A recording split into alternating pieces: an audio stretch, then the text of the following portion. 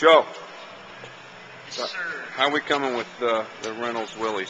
Well, What do some, we have? What do we have happening here we today? have some very good news and some not as good news. But, Okay. Um, what I did is I stripped the nose off. We've been busy for the past couple of days, just myself. And uh, one area that's really good news is the frame is nice and straight. There's no area that shows uh, it's been hit or impacted in such a way that the frame is bent. At least not more than an eighth inch that I can tell, which is fine. That's acceptable.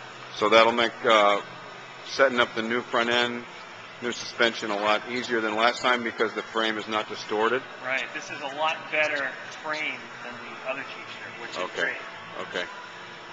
Okay. Cool. Joe, did you have any trouble getting the fenders off?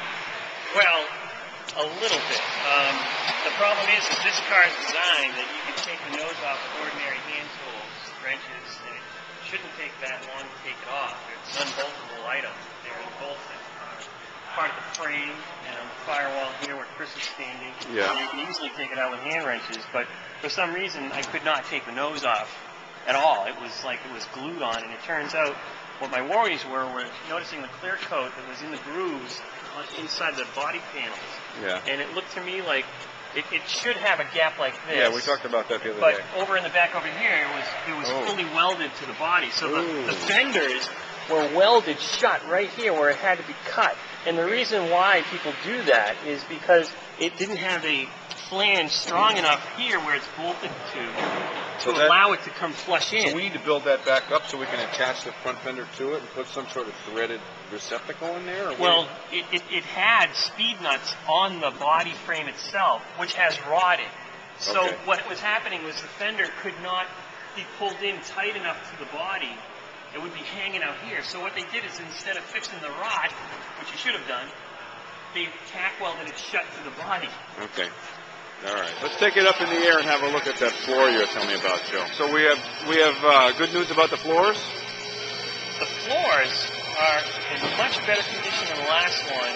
This has been patched before, and the repair on the right side is, um, well, it's happened again because it wasn't done right. But that that's the area that's right here. It starts here and goes all the way up here. That's where this metal is Oh yeah. and it's right above this cross member support that's where the body sides from.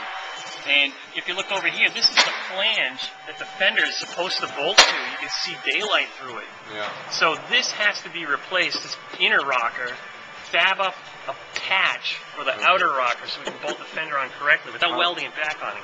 How about the other side? The other side, same deal. It's Right here. Okay. Okay, But the actual floor plans, like we did on the last one, are okay. Right, the rear section's fine. There's really no rust. It's just, it has to be cleaned off and Yeah.